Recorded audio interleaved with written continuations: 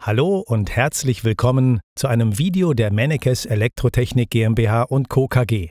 In diesem Video zeigen wir Ihnen, wie Sie Amtron Extra oder Premium mittels LAN in ein Heimnetzwerk integrieren.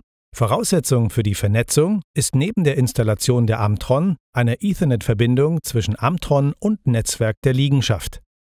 Es muss sich hierbei nicht um ein Crossover oder gekreuztes Netzwerkkabel handeln. Mennekes empfiehlt die Verwendung von geschirmten Netzwerkkabeln.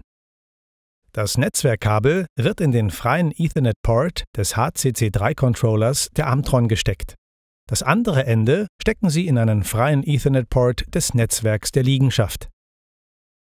Grundsätzlich ist somit die LAN-Verbindung der Amtron Extra bzw. Premium und im Heimnetzwerk aufgebaut. Die Amtron erhält über den DHCP-Server des Netzwerkrouters eine IP-Adresse. Diese IP-Adresse können Sie sich entweder im Webinterface der Amtron oder im Router des Netzwerks anzeigen lassen. Schauen wir uns diese mal im Webinterface der Amtron an. Verbinden Sie dazu Ihr Endgerät, also beispielsweise Ihren Laptop, mit der Amtron Extra oder Premium und öffnen Sie das Webinterface. Als nächsten Schritt klicken Sie auf den Menüreiter User Settings und scrollen Sie zu dem Block Ethernet Status. Hier wird Ihnen die aktuelle IP-Adresse der Amtron in dem Netzwerk angezeigt. Optional können Sie der Amtron Extra oder Premium eine statische IP-Adresse vergeben.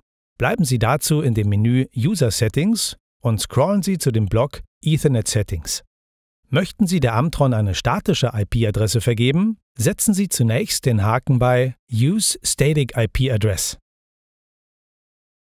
Anschließend tragen Sie hier eine IP-Adresse sowie die Subnetzmaske